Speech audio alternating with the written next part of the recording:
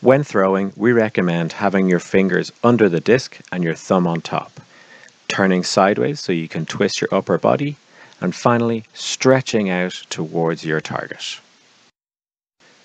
The three main types of catches are the clap catch with one hand above the other, the low catch with your fingers under the disc, and the high catch with your fingers on top of the disc.